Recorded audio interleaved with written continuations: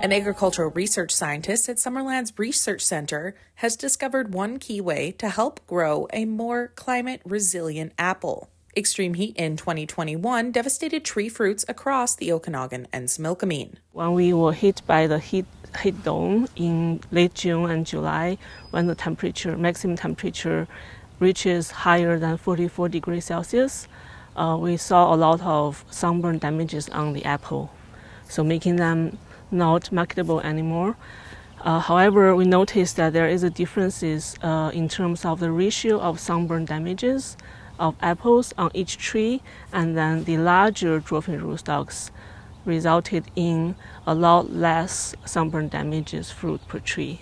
Research continues between Agriculture and Agri-Food Canada and local orchardists on finding more ways to grow fruit in constantly changing climates.